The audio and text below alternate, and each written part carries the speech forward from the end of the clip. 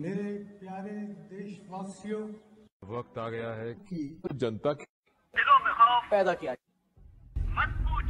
आपका देश आपके के लिए क्या कर सकता है। इस संकट की इसका जो है कुछ भी नहीं। हमारी ताकत जो है वो बेकार है। और से सुनी। सभी संचार यातायात। इंटरनेट जुड़े रहने के साधन।